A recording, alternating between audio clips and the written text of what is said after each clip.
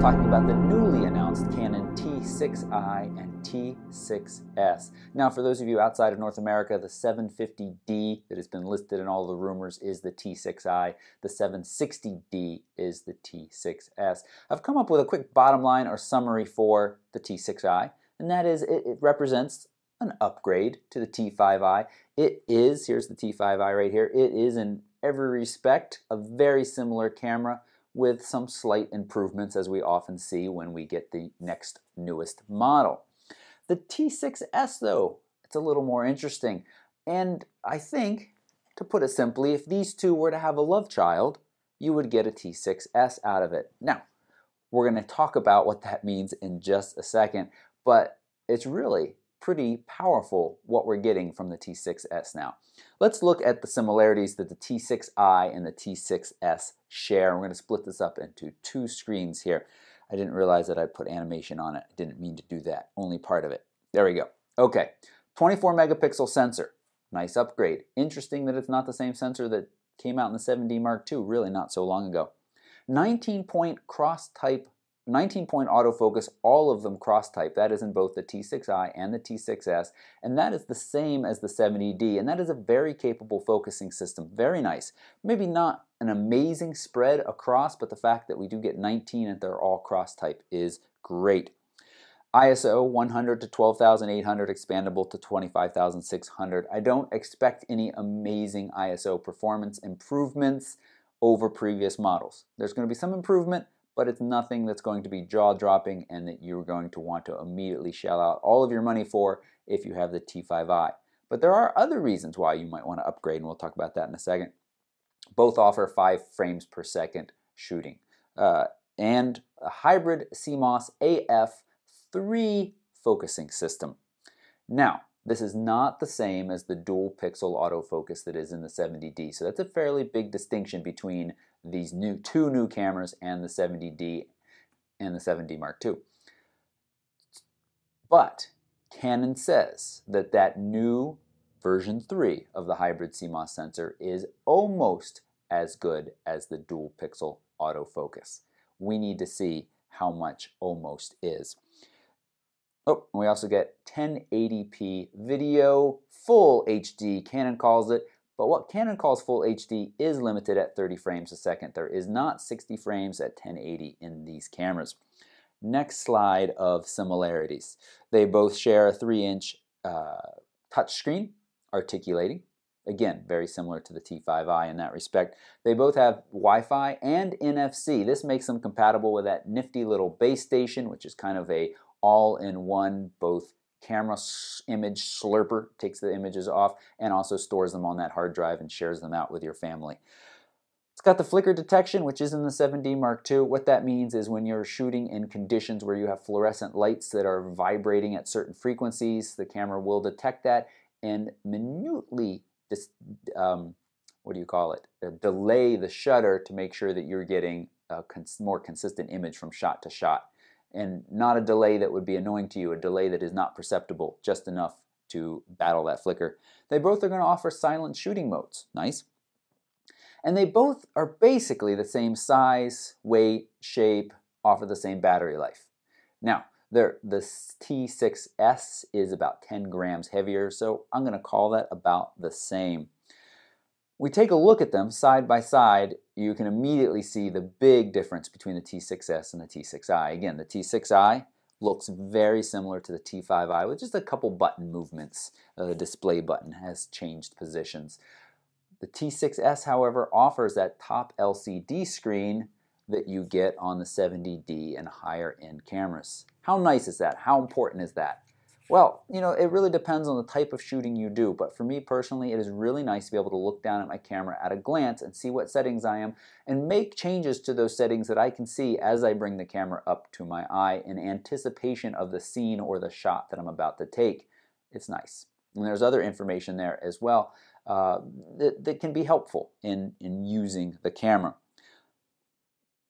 Let's move on to oh, I mentioned the LCD, the fact that that is right there, that's a big difference. The other, of course, is the dial has moved to the left, but on the T6S as well, the dial is a locking dial. So again, how important is that? I have that on the 70D, it's not on the T5i. occasionally on a camera without a locking dial, I might bump the dial and move it to a mode that I don't um, want to be in. The locking dial, of course, allows me to stay in the mode I want to stay in. It's nice. It's not a huge feature. All right, now looking at the back of these two cameras, a lot of similarities again, but I want to draw your attention first to the fact that the T6S is the first in the Rebel line that is offering a command dial on the back. This gives you full manual control. Wait, you say, don't you already have manual control in the Rebels? Yeah, of course you can adjust aperture and shutter speed, but when you're shooting in manual on the T5i or the T6i, you need to hold down the little AV button to turn the dial. That adjusts your aperture. When you're not holding it down, you're adjusting your shutter speed. Now on the T6s, it is much more like the 70D. Shutter speed, aperture. Uh, or you can flip those back and forth depending on however you want to set that up. Now, that is really useful for shooting in manual, so you don't have to remember to push the button. Your finger doesn't accidentally slip off the button and suddenly you're changing a different setting. That's pretty rare that that happens, but it happens. Uh, and I also want to draw your attention to this little spot right below the viewfinder. The T6S is going to have a proximity sensor. So when you bring your face or your eye up to the viewfinder, it's going to turn off the LCD screen on the back. The T6i is not offering that, and that's why you saw that extra little display button on top. You're going to have to turn that on and off yourself. A big deal? No, but uh, probably a T6S is going to save some battery life a little bit. And the switch that shows you on, off, and full video modes on the T6S hint towards some more differences that I want to get into right now. So let's talk about some advantages. We just looked at some advantages of the T6S. Now let's talk about what it offers. There we go. So we got the top LCD, pretty self-explanatory. I think I covered that. The rear command dial, better control and manual mode, the proximity sensor I mentioned. T6S is also going to offer AF servo and live mode. That means that when you're shooting in a continuous mode in live view, not video, but stills, it's going to autofocus in between those shots. The T6i is not going to offer that. Manual movie mode. Now, I've seen this in a couple different places. I'm a, a little surprised, a little disappointed, but what this is saying and what people are saying is that in the T6i you are not going to have full manual control while shooting video over your shutter speed and your aperture and your ISO of course.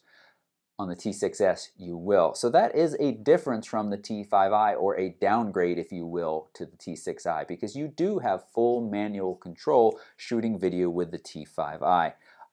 I'm going to put a little asterisk there. I want you to put a little asterisk there because until I get this confirmed from a couple more sources, I don't want to say it is absolute fact. But I've heard it from some pretty reliable places, so I put it on the list for now. T6S is also going to offer a horizontal guide, a digital guide that you can tell whether or not you're shooting level, digital zoom during video, and HDR movie mode. Interesting, gimmicky, I'm not sure. We'll see. Magic Lantern offers a very powerful HDR movie mode uh, that you can use in lower models, but it is uh, not so friendly to always work with, and then post-processing is difficult, so this will be tricky. Kind of a fun side note, both cameras will offer miniature movie mode, which is something that Nikon's been offering for years. Those were the advantages of the T6S. The advantage of the T6i really is to save yourself $100. Is it worth it? I don't think so. Uh, I, I usually am all for saying spend a little less on a body and put that money towards glass because that's where you're going to really see the differences. But the T6S has a couple of those features, namely the rear dial, the top LCD, that make a significant difference in shooting, especially if you want to grow as a photographer. It is worth that extra little investment to get those features. Now, a little too early to say for sure, but let's talk a little bit about, well, you know, when people start to look at the T6S, it looks an awful lot like the 70D. So which camera should I buy when you're starting to compare those? Well, first question we need to answer is, if you're going to be shooting in live view a lot and you want to use autofocus, we need to know how fast is that hybrid CMOS AF3 system? How fast really is it? And how does it compare to the dual pixel AF of the 70D, which is very fast and very smooth and very capable. Continue to be impressed of that. Sensor improvements, we've got 24 megapixels in the T6S, 22 in the 70D. Again, you know, one, that number is a very small difference, and two, I expect to not see huge differences. So, you know, one is not going to be greatly better in image quality than the other. But the 70D does certainly still have some strengths over this T6S. Namely, it is weather sealed, or at least more weather sealed. 7 frames per second versus 5. You've got your different raw image file sizes. You have a pentaprism viewfinder in here, which just means a little bit brighter, a little bit better coverage, a little bit easier to see through than your pentamirror prism, or sorry, your pentamirror and your T6i, T6s. 1 eight thousandth of a second top shutter speed versus 1 four thousand in the T6i, T6s. 101 over 250 for your flash sync speed. It's just 200 on the Rebels, the T6i, T6s. And you get double the battery life. So you get about 900 and some odd shots out of the 70D. You're going to get about 440 shots, according to CIPA, out of the T6i, T6s. The 70D costs $250 more. So I, at this point, I'm not going to say that you should do that. It really depends on the type of photography that you're going to do. One other advantage of the T6S is it is a little bit smaller and a little bit lighter. It depends. You're going to have to weigh those things. And of course, I will be matching these up side by side as soon as I get my review unit um, and have lots more to share with you. So these are really quick thoughts and a rundown of the similarities and differences between the T6i, the T6s, and a little bit in comparison to, compare, comparison to the 70D. If you appreciated this video, easy way to thank me is to click the thumbs up. If you're not already a subscriber, please take a moment and do that. I've got lots more videos coming on all sorts of topics, including what is the best camera for you over the next couple of months as we get more releases and put this side by side with the D5500. We should hear about the D7200 soon. Lots of great stuff coming, as well as tons of photography tips, how-tos, and just general fun information. If you're watching this on the Friday that it's announced, that it's released, Christina and I will be sitting down this evening, a live podcast at 5.30 p.m. EST, right here in this little room. Come join us. We'll be talking more about these two cameras. We'll also be talking a lot more about the Canon 5DS and 5DSR, also officially announced yesterday. I already have a video out about those back from when the rumors and I'm going to leave that for now and not do another video about it because I covered it pretty well in there and there aren't any more surprises. I'll just say that if you were looking for the 5D Mark IV, this is those cameras, the 5DS and 5DR SR are not the 5D Mark IV. They are not a do-it-all camera. They are firmly targeted at photographers, not videographers, uh, and really have even removed some features that make the 5D Mark III useful for video. So we'll talk more about that. So you should subscribe, you should come back this evening, watch, ask questions, we answer them live. And if you're really serious about supporting my work here and what I do, this is my full-time job, I would invite you to take a moment and pop over to my Patreon page where I'm running a campaign where you can support my work through monthly reoccurring donations. What do you get? You get channel improvements and lots of personal perks and rewards. So take a moment, look at that right there. Links for all of this information along with the supporting slides you just saw and a write-up on my site are all right down below. Thanks so much for watching. Goodbye.